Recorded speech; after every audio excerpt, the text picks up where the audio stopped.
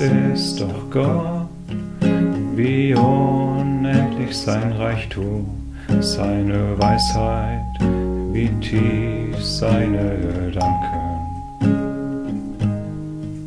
wie unbegreiflich für uns seine Entscheidungen und wie undurchdringlich seine Pläne. Denn wer kann Gottes Absichten erkennen? Oder wer hat ihn je beraten?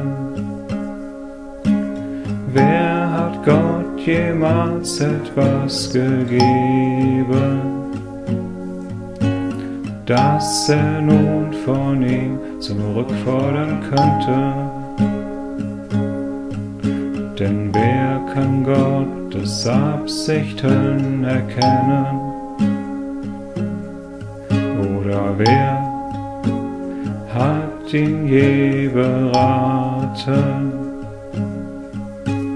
Wer hat Gott jemals etwas gegeben,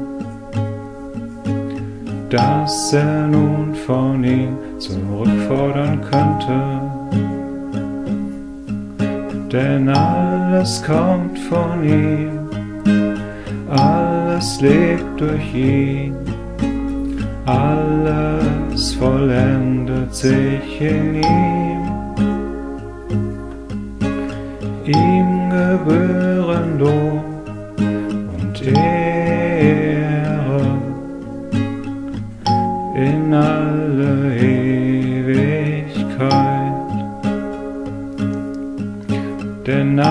alles kommt von ihm, alles lebt durch ihn, alles vollendet sich in ihm.